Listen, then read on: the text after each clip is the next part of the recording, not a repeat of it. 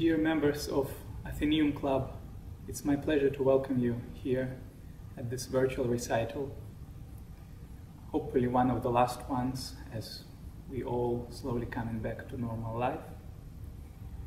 And um, I will play for you today two works one by Beethoven, his one, one of his late sonatas, and one by Ravel called Gaspard de la Nuit.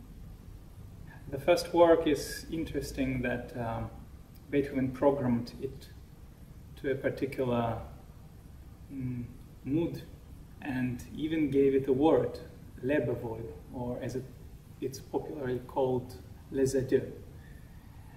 Uh, in fact, is in first three chords of the first movement, and you can hear it. Le, be,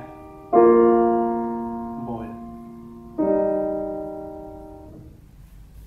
And this first movement is followed by the second movement called absence, and the last one, reunion.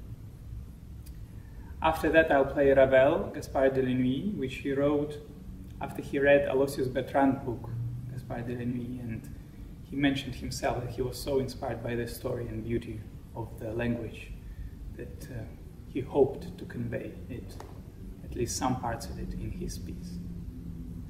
So, welcome once again, and I hope to see you in real life one day.